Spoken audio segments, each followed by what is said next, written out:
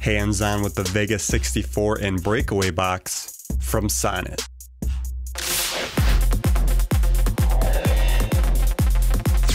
Ever since I bought my 2016 MacBook Pro, I've always wanted an external GPU that is finally reality with High Sierra 10.13.4. So I did not hesitate to get the highest supported graphics card by Apple on the market, which is the Vega 64. Sonnet does have a bundle that includes the Vega 64 for $12.99. And while this is a little high, it is a deal in today's market with crypto mining taking over the demand for graphics cards.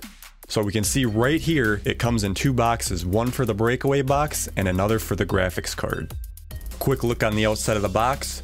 We indeed have EGFX breakaway box 650. And taking a look at Sonnet's own website, it says that this box does indeed actually act as a 750 watt, which is recommended for the Vega card because of its high power demand.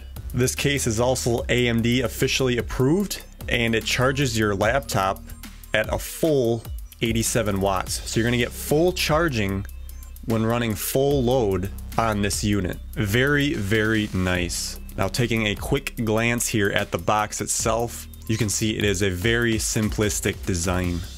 A little disappointed with the I.O. ports as there's just one Thunderbolt connection and your AC plug.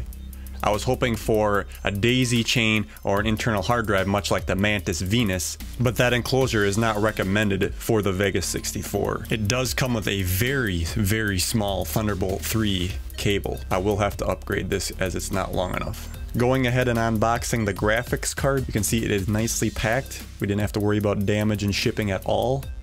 And it does come with an AMD disk. We won't have to use it in this case, as this whole setup is just plug and play. That's what I love about this. And we can see there's a plastic triangle to stop your fan from spinning and shipping. And there we go. Feast your eyes on that beauty. It is very, very thick. Let's take a look at the I.O. ports. We got one HDMI, and three display ports. Pretty slick if I do say so myself. So let's go ahead and get this installed. We're gonna remove the cover here. Now this cover basically just feels like a regular cheap PC case that you may buy. So nothing special here folks. We open it up, we can see right away here, we got the power supply, 650 watts. Now this is removable if you ever have to replace it or upgrade. And we got our cooling fan. Very quiet also when in operation. We got three zip ties, and a spare screw inside, just in case you lose one. All right, let's go ahead and remove the top bracket here so we can get our card installed. We're gonna grab a screwdriver and remove these two spacers. Just like that. Now this power supply has two 8-pin 6 plus 2 connectors. We will be using both of these in the Vega as it calls for some massive power. So let's go ahead and insert the card here. And it, there's a clip, it'll slide right in and clip.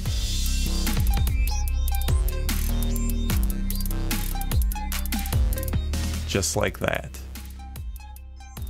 Alright, let's go ahead and put this thing back together. We'll screw on our cover and then screw down the graphics card to the box. We'll also go ahead and plug in our power to our graphics card. It's two on the right and the six on the left. This goes for both sections. Now these are keyed so you don't have to worry about putting them in the wrong way. Now let's go ahead and slide our lid back on, screw down the back here, and we will be all set to go. We'll plug in our power supply and then go ahead and stick our Thunderbolt 3 cable in and now you have to look very closely on this because it doesn't go in all the way and it feels a little janky so that's something to keep an eye on when you're doing this. Alright, let's plug this into the MacBook. Fingers crossed, the box has lit up and up in the right corner. And if we go over and click on the microchip, it indeed recognizes that AMD Radeon RX Vega 64. So we're in business, but when we bring up the Apple menu, it does not see it as a primary graphics card. This is because we'll need to run from the graphics card directly to the monitor through DisplayPort or HDMI. I'll touch upon this again later. Alright, let's go ahead and run a Geekbench on all three GPUs and see what we get. Alright, now the Vega on OpenCL we get a score of 137393. And the Radeon 460 coming in at 48726, HD graphics 530, 19494. So we can see quite a bit of difference right off the bat. Now in order to use the Vega as your primary driver, you're going to have to connect through DisplayPort or HDMI directly to your external monitor. If we try running it directly through Thunderbolt and that's it, you can see that the card does not get recognized and it runs on the 460 card. So you're gonna have slow performance and no use. This is something Apple's gotta get fixed in the future because this is supported on PCs right now. Alright, now connected back through DisplayPort, we're gonna run a Valley benchmark here at ultra quality 2560 by 1440 and we can see it is a pretty impressive 61.1 frames per second, a score of 2555. Comparing that to the same settings as the internal, we're at 15.6 frames, score 655. Wow. And this was the top of the line maxed out 2016 MacBook Pro, ladies and gentlemen. So we can tell that Vega really drives some graphics. Now let's do a Deus Ex test. We're running at 2560 by 1066. We got ultra texture, but we're on high on everything else. So yes, there was a little tweaking here to make this run decent. And I have been playing this game on the settings, and it's been pretty decent. The only time you get a stutter is at the loading parts. But we can see the breakdown right here, ladies and gentlemen. Vega on the left, internal on the right. What an impressive difference. And like I said, playing the game itself is pretty damn smooth. It is pretty surreal to think about where this is going when you connect an external graphics card and have this much power on such a slim MacBook. Alright, let's run our next benchmark. This is Tomb Raider from 2013. We're running at 2560 by 1066 again. 75 hertz refresh rate. This is with VSync monitor.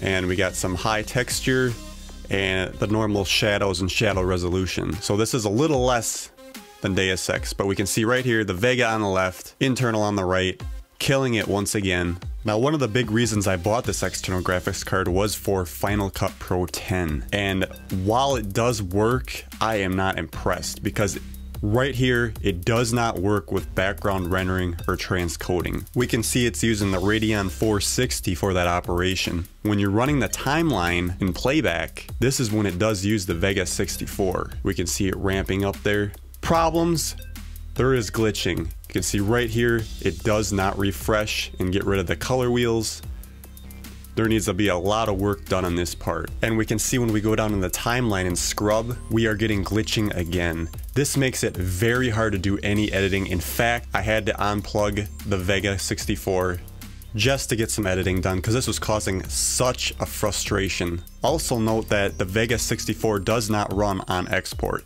but it does however run an export on ScreenFlow. We can see right here the Vega is ramping up and I'm exporting an HEVC codec this is an hour and 20 minute screen capture, and without the Vega, it ran at 943.04 export time. With the Vega, 941.06. So it does not make that big of a difference on export. I don't know if this is something Apple's got to optimize down the road so it does work, but we'll have to stay tuned and see if this gets better. Running my test in Apple Motion, we can go ahead and hit play on the timeline and we see the Vega takes over right here. And we have smooth playback, which is really nice in motion because this is where you want to keep playback going as you're tweaking things. And now when we go up to export and we'll export this as a 4K file, we can see now the 460 takes over. Very disappointing, but this is something Apple's going to have to get straightened out as it is really not fully supported at this point in time. Now as the clip is done and we hit play on the video file, we can see right now the Vega takes over for playback. So it's like they're half in, but they're not all the way in. So I don't know what's going on here, if they had trouble and had to step stuff back. This is Motion version 5.4.1 and Final Cut version 10.4.1. So we'll have to see what future updates bring. So all in all, ladies and gentlemen, if you're going to use this card for any productivity, Final Cut Motion, it is not fully supported at this time. The glitching in Final Cut makes it very unusable to get any work done. But if you plan on using the card for gaming, by all means, this is where the card really shines. If you are interested in this card further, I do have the link in the description to the 650 bundle. I've also included the link to the 550 bundle, which includes the Sapphire RX 580 card a little cheaper price, but damn good performance also. Check them out and let me know what you think. This is Dan with Dan and Mac.